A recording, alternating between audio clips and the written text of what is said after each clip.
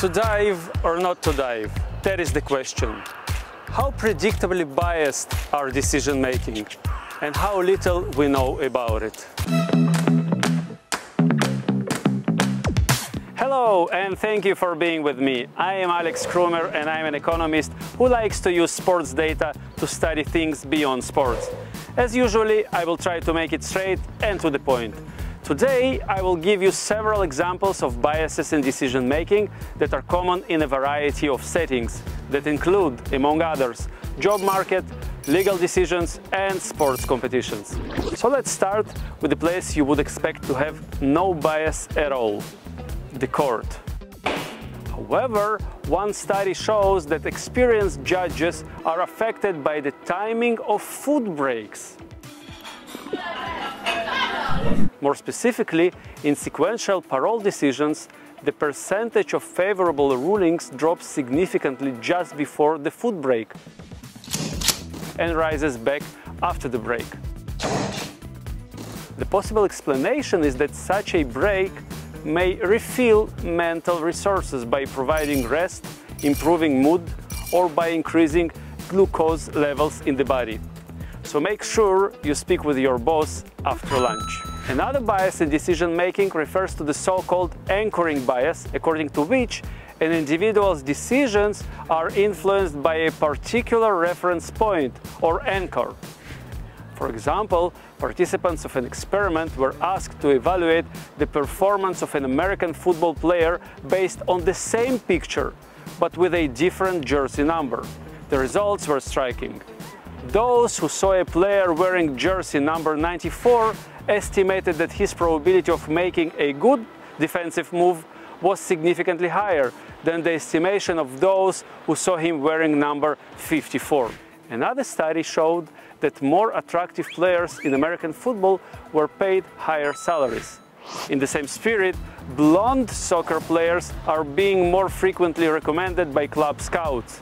This bias is probably driven by the fact that blonde players simply stand out among other similar looking black hair players. In Scandinavia, it is likely to be the other way around. In another study that relates to the hiring process in professional sports, researchers found that top picks in the NFL draft are significantly overvalued. More specifically, the paper shows that the player selected towards the end of the first round on average produces a higher value for money than the draft's first pick. This bias is widely known as the winner's curse, according to which the winning bid in an auction exceeds the real value of an item. This bias can be attributed to incomplete information, emotions, or a variety of other subjective factors that may influence bidders. Another interesting bias is the so-called recency bias, which is a cognitive bias that favors recent events over historic ones.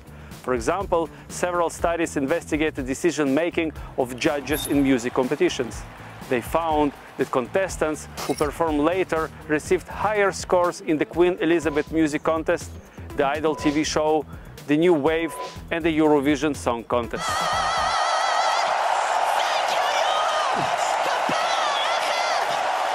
Similar bias has been documented in figure skating competitions, where skaters who performed later received significantly higher scores.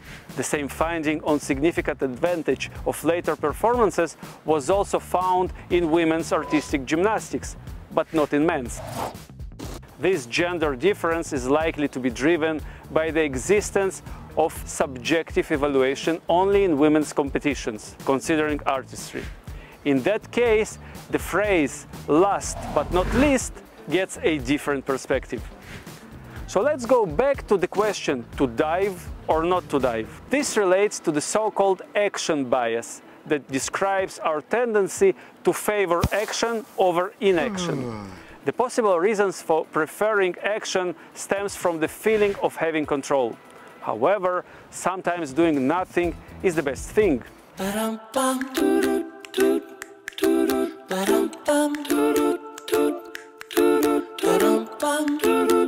For example, one study investigated penalty shoots in soccer and found that the optimal strategy for goalkeepers is to stay in the goal center. This is because close to 29% of kicks go there. However, goalkeepers stay in the center in only 6% of the kicks. In other 94% of the cases, they dive right or left.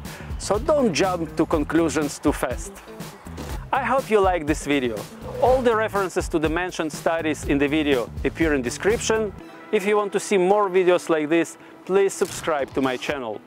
Likes and comments are there and they are more than welcome. I hope to see you soon.